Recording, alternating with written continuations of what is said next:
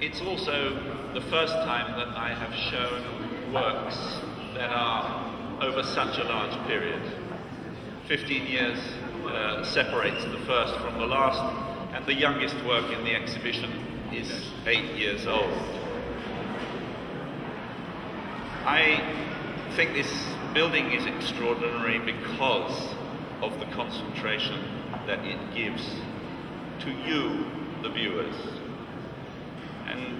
In many senses, there is no other subject than you, each one of you, as you make your own narrative through these four, I think of them as relational fields. I'd like you to hold on to your memories. I think we are nothing without memory.